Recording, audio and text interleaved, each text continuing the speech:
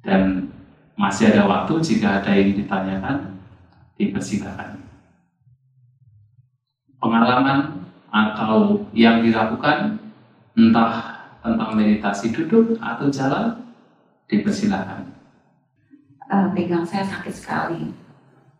Padahal sebelum-sebelumnya enggak. Sakit sampai saya sender. Makasih. Itu saja. Ya memang sesuatu yang tidak menjadi kebiasaan, fisik juga terkadang harus adaptasi. Barangkali tidak pernah melakukan retreat yang seperti ini sebelumnya, atau mungkin beberapa orang yang sudah pernah melakukan, akan tetapi dengan tempat duduk yang mungkin berbeda, itu juga bisa menyebabkan sakit pada fisik untuk memang harus beradaptasi. Itu hal yang bisa terjadi pada siapa pun. Akan tetapi dalam hal ini juga sebagai satu bentuk latihan, latihan kita untuk bisa bersabar. Dan memang meditasi juga dibahagikan seperti ikan yang dilempar ke daratan. Ketika ikan itu berada di kolam atau di sungai dengan air yang jernih, dengan makanan yang cukup, ikan tersebut akan kelihatan happy. Tidak ada masalah, tidak ada penderitaan. Akan tetapi ketika kemudian diangkat dan dilempar ke daratan, ikan tersebut akan melebar. Dan ternyata meditasi juga sama. Ketika seseorang berada di tengah-tengah kenikmatan indera, biasanya semuanya itu fine-fine saja. Karena sakit sedikit, kita bisa dengan mudah mengubah posisi kita. Ya kan? Kita berjalan sakit, sudahlah kita duduk kita duduk sakit sudah kita mengubah posisi kita. Kita bisa berdiri. Kita bisa meregangkan jasmani kita. Kita bosan sedikit kita mencari kenikmatan yang baru. Ya kan pergi ke mall nonton di sinema dan seterusnya begitu. Setiap kali tidak menyenangkan muncul ditutupi dengan kesenangan. Nah sehingga sulit untuk melihat bahwa ada penderitaan karena semuanya menyenangkan akan tetapi ketika kita bermeditasi secara fisik harus beradaptasi dan apalagi juga secara batiniah juga beradaptasi. Dalam meditasi ini mau tidak mau kita diajak untuk melihat apa pun yang terjadi pada batin dan jasmani kita. Ketika fisik sakit, jasmani sakit karena duduk, kita diajak untuk mencoba untuk melihat. Apalagi sesuatu yang tidak biasa dilakukan, ya ternyata dilakukan, dan itu tidak hanya satu dua tiga jam seharian, maka sakit akan muncul. Dan hal tersebut akan terlihat dengan jelas karena mau tidak mau itu juga diperhatikan. Mau tidak mau itu dihadapi Nah, tetapi sesungguhnya walaupun itu sesuatu yang tidak menyenangkan, akan tetapi kalau kita mampu menghadapi, kita bisa bertahan saja, itu juga bagian dari kita melatih mental kita, melatih kesabaran kita. Terkadang saya menyampaikan, sekarang kita masih lebih beruntung. Beruntungnya adalah walaupun sakit kita masih bisa bertahan. Mungkin ada waktu di mana suatu saat kita akan mengalami sakit yang jauh lebih hebat dari ini. Memungkinkan sekali kan? Ya namanya manusia, kita punya fisik yang merupakan sarang penyakit dari ujung kepala sampai ujung kaki semua bisa menimbulkan sakit. Bisa saja kita akan mendapatkan sakit yang lebih hebat dari ini.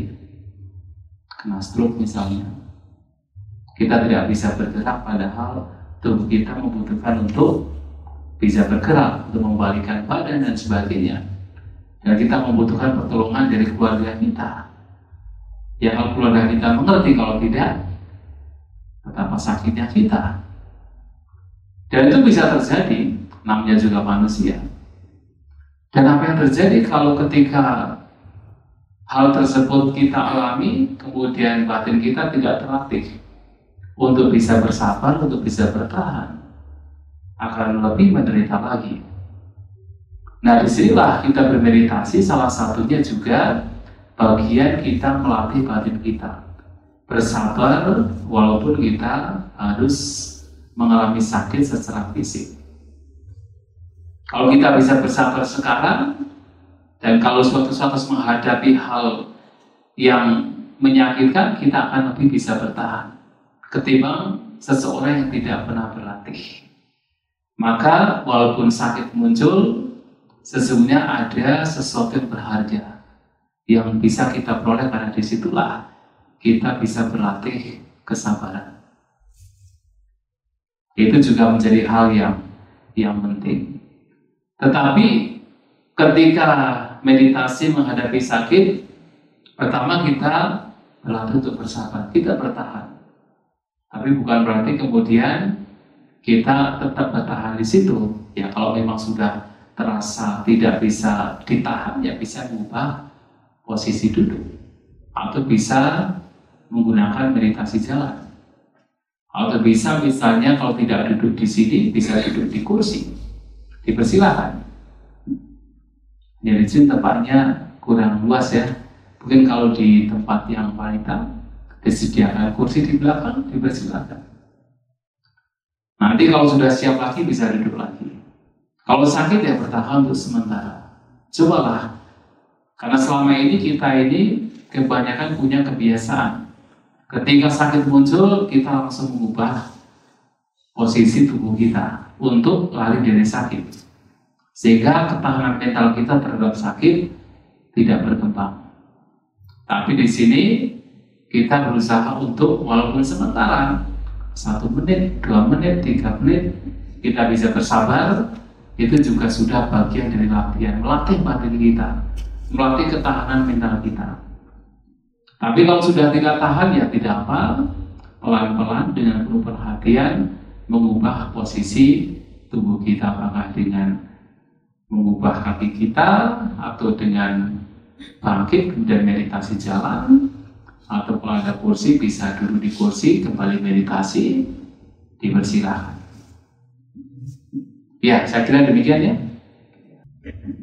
Eh, dengan bersabar diharapkan resultnya lebih bagus ya Bante jadi misalnya saat sakit kita bertahan bersabar resultnya better.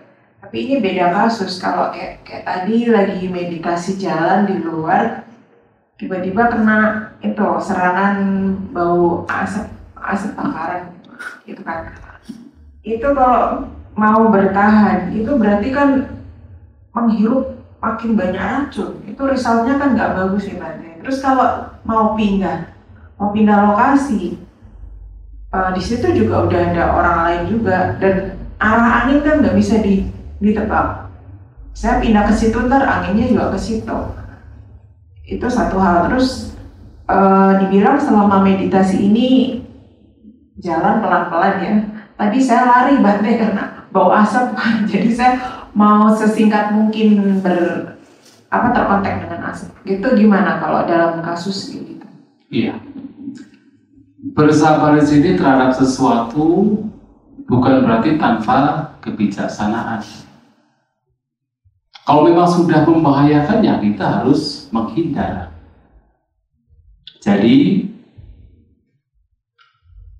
ada berbagai macam kotoran batin yang harus dilenyapkan dengan cara menghindar. Terutama kalau kita misalnya tahu bahwa ada sesuatu yang membahayakan yang kalau kita tidak menghindar nanti tidak hanya secara fisik itu akan dirugikan, secara batinnya juga dirugikan. Nah ketika tahu itu membahayakan ya kita menghindar. Contohnya adalah kita bertemu dengan binatang buas misalnya. Ketika tahu ada binatang buas yang kalau kita menghadapinya secara fisik nanti dirugikan, secara batinnya dirugikan. Kenapa? Kebencian bisa muncul, ketakutan bisa muncul, maka lebih baik menghindar. Tapi kalau sudah tidak bisa menghindar, itulah yang kemudian ada cara kedua, yaitu melenyapkan kotoran batin dengan cara bersabar, bersabar, bertahan. Disebut kalau dalam bahasa Pali istilahnya adi wasana ta'ata bersabar. Kotoran batin yang harus dilenyapkan dengan cara bersabar, karena sudah tidak bisa menghindar. Nah, risikonya polutannya makin banyak masuk. Ya makanya, karena ini masih bisa dihindari, maka menghindar. Kan begitu kan?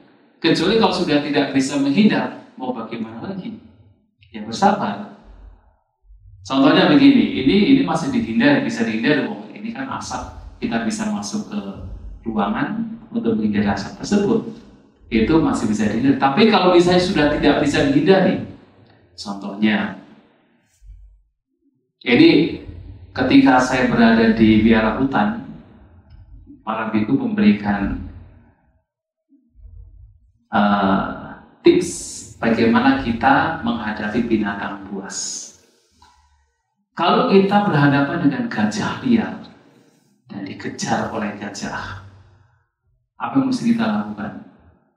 Kita diam saja atau kita lari?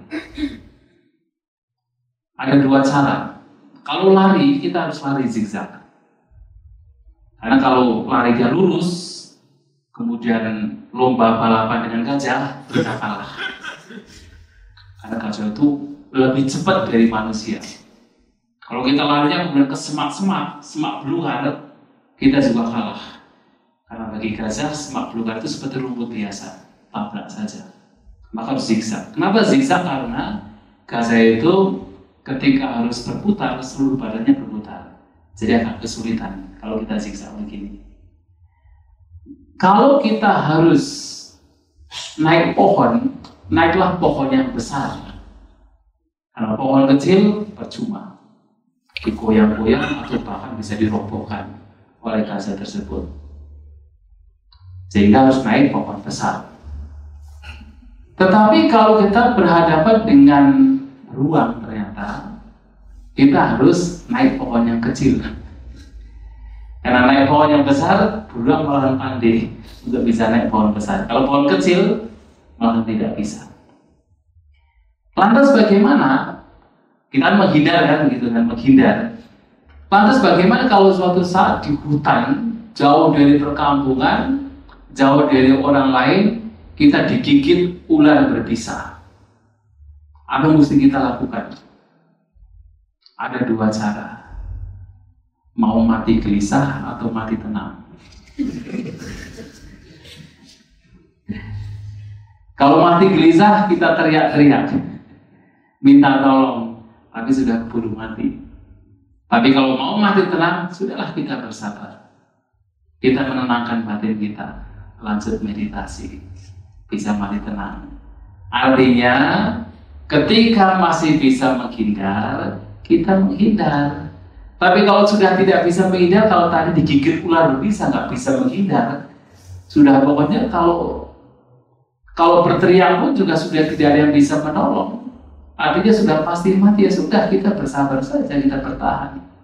Kita bertahan, bersabar, kita menenangkan batin kita, kita melepaskan kemelekatan terhadap jasmani. Nah justru itulah yang harus kita lakukan. Tapi kalau dalam konten misalnya ada asap kita masih bisa menghindar ya menghindar saja. Jadi kita tidak kemudian uh, bersabar di sini bersabar dengan dengan tanpa kebijaksanaan. Kita harus bersabar dengan kebijaksanaan. Kalau itu itu berbahaya, itu beracun, ya kita harus menghindar dong. Kan gitu.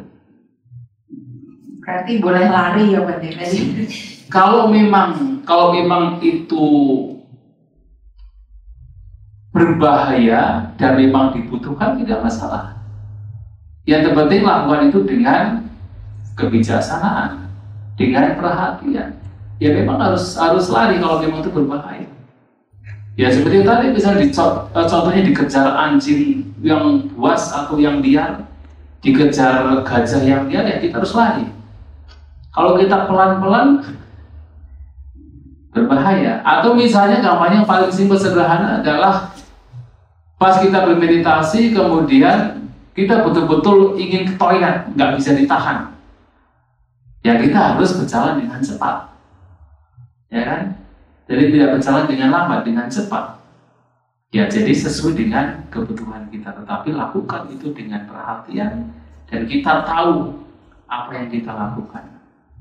Ini membuat ini bermanfaat atau tidak bermanfaat. Itu juga bagian dari kita bermeditasi mengetahui apa yang baik untuk kita, apa yang bermanfaat untuk kita. Ketika ada asap yang sebenarnya berbahaya, kita tahu oh ini berbahaya, ini tidak bermanfaat. Maka saya harus menghindar. Oh kalau saya tidak cepat-cepat, ini berbahaya, ini merugikan. Maka saya harus berjalan dengan cepat. Itu juga bagian dari praktek mindfulness yang didasari oleh kebijaksanaan. Begitu ya. Ya. Yang Mbak Teh tadi merasa bersalah, kan yang lain jalan pelan-pelan. Akhirnya saya lewat itu yang mau kembali ke putih lewat yang turun waktu yang lewat Swedagon itu yeah. gitu. lewat situ tapi sambil lari-lari karena kalau lewat jalur yang situ kan harus jalan pelan-pelan ada peserta lain saya muter gitu. Tapi yeah. ada feeling guilty jadinya. Ya, kita dalam meditasi melihat ke dalam batin kita masing-masing. Artinya yang terpenting adalah masing-masing dari kita tahu persis apa yang kita lakukan. Yang terbaik untuk diri kita. Sehingga kita tidak usah memiliki feeling guilty ketika melakukan hal yang sebenarnya bermanfaat untuk kita. Tidak merugikan yang lain dan juga tidak merugikan diri sendiri tapi juga bahkan bermanfaat untuk diri sendiri ya tidak perlu walaupun kelihatannya kok ini lari-lari apakah tidak bermeditasi tapi yang tahu kan kita sendiri tidak masalah yang terpenting ketika berlari tidak melapor yang lain saja Selamat malam. Uh, karena saya pemula ya Bante, jadi saya mungkin pertanyaannya yang lain udah pada tahu. Saya tuh mau tanya, kalau kotoran batin itu uh, dia itu dari conscious mind atau unconscious mind gitu sih. Itu dulu. Terima kasih. Kotoran batin itu ada yang sifatnya halus, ada yang sifatnya menengah, ada yang sifatnya kasar. Kalau di dalam konsep Buddhis, memang tidak ada istilah conscious mind dan unconscious mind. Tetapi kalau diartikan sebagai bahwa unconscious atau subconscious itu sebagai insting, ya memang ada. Karena begini, kalau di dalam teori subconscious dan juga conscious mind kan seperti ini. Ketika jadi ada ada ada analogi, ada seekor kelabang yang dia berjalan. Tahu kan kalau kelabang itu kan kakinya banyak ya. Ketika dia berjalan, berjalan dengan santai Kemudian dia punya teman, temannya adalah si katak. Nah, temannya ini kemudian sangat pokoknya ingin tahu dan bertanya kepada si kelabang, saya ingin tahu sebenarnya ketika kamu berjalan itu kaki mana yang dulu? Kemudian kaki yang kedua yang mana dulu yang berjalan? Dan ketika dia ditanya demikian dan mencoba untuk tahu kaki mana yang dulu yang berjalan, yang kedua, yang ketiga, yang keempat yang berjalan, malah dia tidak bisa berjalan. Nah, yang dimaksud di sini adalah bahwa ketika si kelabang ini berjalan, dia menggunakan subconscious karena sudah menjadi insting dan ketika dia sesadar-sadarnya dia berjalan, dia tidak malahan tidak bisa berjalan. Dan ketika dia sadar itu adalah conscious. Maka dalam teori tersebut bahwa subconscious ini apa yang dilakukan oleh seseorang dari subconscious itu malah jauh lebih banyak ketimbang ketika melakukannya dengan conscious mind. Maka ada ada teori bahwasanya kalau diibaratkan seperti iceberg, jadi es yang yang berada di atas itu lautan itu ketika ada musim dingin. Nah, iceberg itu adalah conscious mind. Sedangkan air yang berada di bawah iceberg itu yang begitu luas itu adalah subconscious. Maka dikatakan hampir semua yang dilakukan oleh manusia itu adalah subconscious. Termasuk ketika kita berbicara tangan kita bergerak begini adalah subconscious. Ketika kita membaca, kita menulis itu subconscious. Ketika seseorang misalnya seorang anak ketika baru belajar membaca, eh, baru belajar menulis, menulis untuk A saja sudah kesulitan. Kemudian B, C, dan D kesulitan. Belum lagi nanti menggabungkan. Belum lagi nanti spelling. Belum lagi nanti membacanya. Tapi nanti begitu sudah menjadi insting, menjadi subconscious, apa yang terjadi? Sambil menulis, sambil melihat, sambil mendengar, tidak ada kesalahan. Yaitu subconscious. Maka hampir semua yang dilakukan oleh manusia itu dari subconscious. Tapi subconscious di sini itu awalnya muncul dari conscious mind. Nah kalau teorinya demikian, maka dalam agama Buddha, apa pun yang dilakukan, yang dilakukan secara sadar, tentu itu adalah bisa dikatakan sebagai conscious mind. Tetapi ketika dilakukan lagi dan lagi menjadi keterampilan, entah itu keterampilan dalam konteks yang baik atau dalam konteks yang buruk, itu yang kemudian dalam bahasa Abhidhamma ada istilah namanya asang karikam. Asang karikam. Jadi sebuah perbuatan yang perbuatan tersebut sebenarnya merupakan manifestasi dari pikiran yang dilakukan secara spontan tanpa lagi dipaksa, tanpa lagi diacak karena apa? Sudah menjadi kebiasaan. Jadi spontan saja. Itu namanya asam karikam.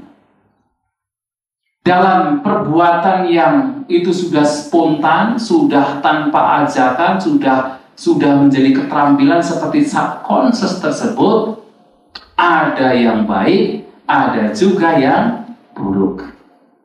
Jadi kalau kemudian dilandasi oleh keserakahan, oleh kebencian, oleh ketidaktahuan, itu adalah yang buruk.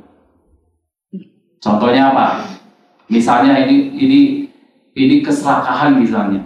Ada satu bentuk batin yang disebut so manasa sahagatam di gata sampayutan asangkarikan.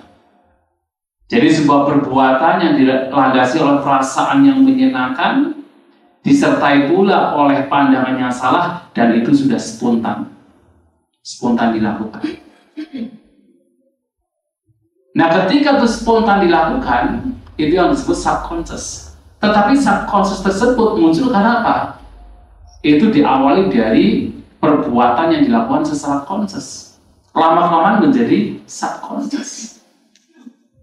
Menjadi sebuah keterampilan. Nah sehingga dari mana kotoran batin muncul yang jelas ya kotoran batin muncul dari batin itu sendiri yang tidak terkendali, yang tidak terjaga, yang kemudian bisa itu muncul karena paksaan atau ajakan karena kondisi yang lain, bisa juga muncul karena memang sudah menjadi kebiasaan. Maka yang terpenting sebenarnya dalam konteks meditasi ini, bagaimana kita mengenali pikiran-pikiran yang buruk tersebut ketika itu muncul dan bahkan ketika suatu saat perhatian kita itu semakin tajam, bahkan kebiasaan-kebiasaan pikiran kita, entah kebiasaan yang buruk atau kebiasaan yang baik, itu akan dikenali, akan terlihat. Dan itulah kekuatan dari kewaspadaan atau perhatian atau mindfulness kita untuk mengenali apa pun kebiasaan pikiran, baik itu yang buruk ataupun yang baik.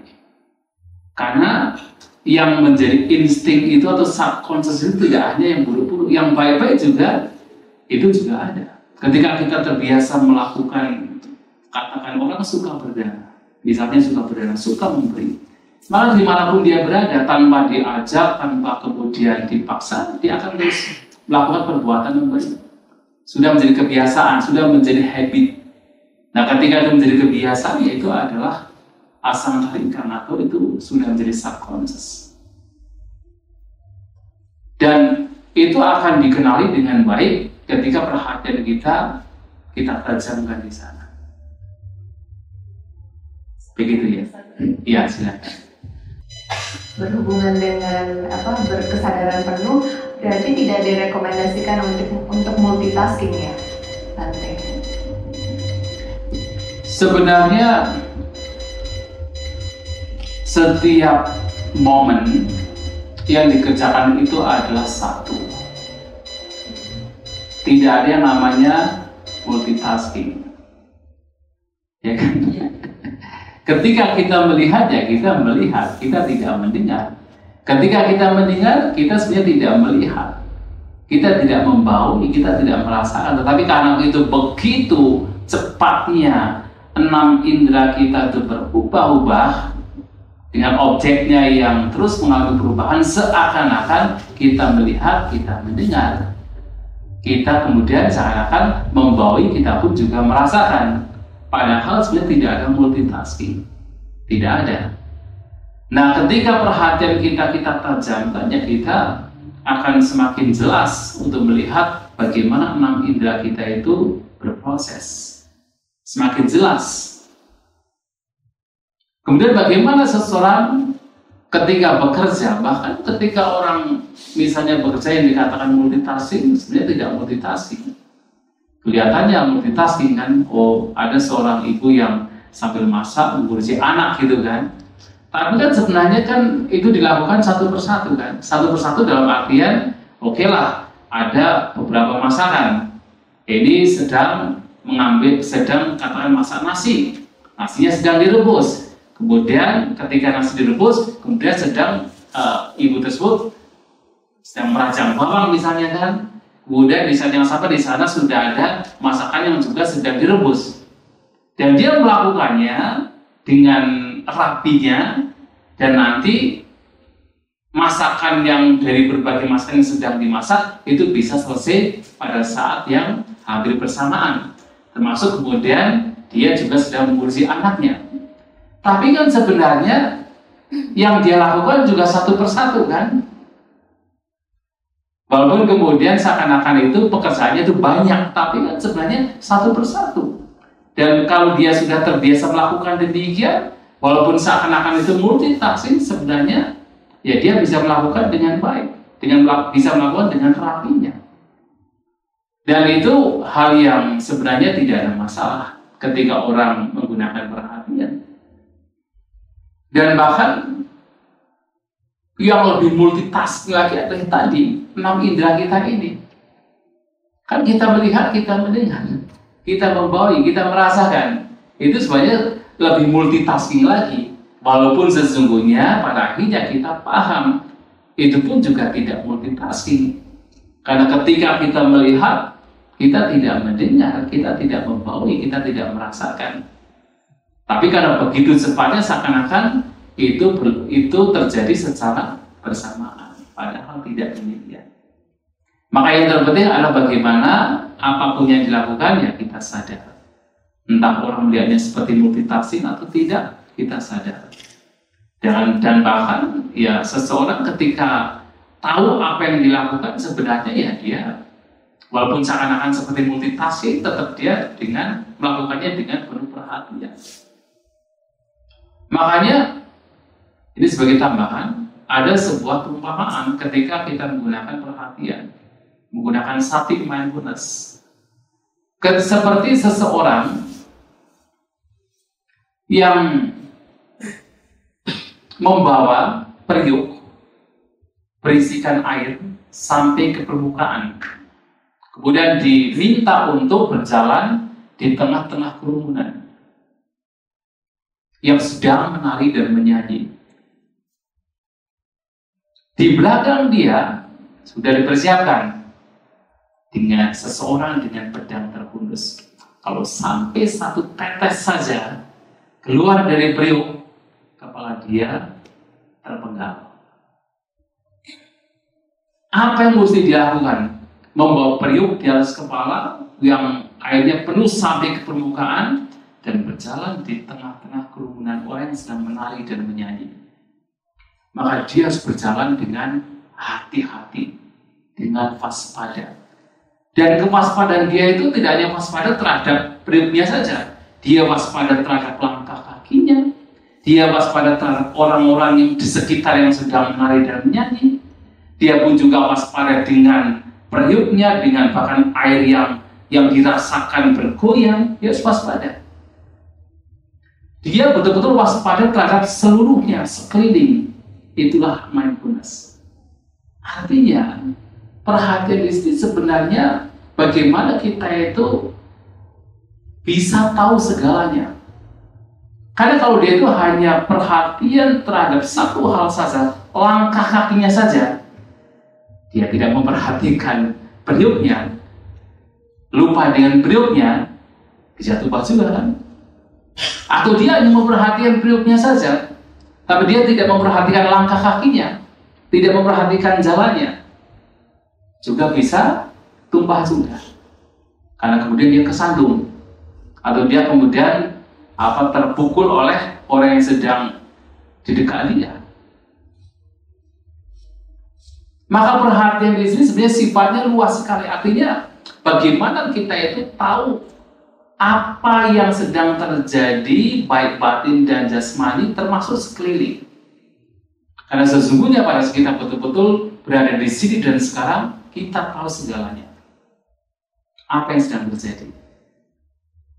Mungkin orang akan berpikir, oh berarti kalau orang yang yang sedang berjalan dengan di belakang ada orang dengan pedang terhunus, orang demikian kan jadi tegang sekali kan? Karena ada orang yang sudah dengan dengan pedang terhulus siap untuk memotong kepala dia kalau sampai akhirnya satu tetes keluar. Justru kalau dia tegang, bahaya lagi kan. Dia harus betul-betul penuh perhatian tetapi rileks juga.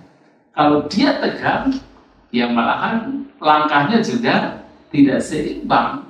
Membawa perutnya juga tidak seimbang. Tapi dia juga tidak teledor. Kalau dia teledor, sama saja. Paham ya?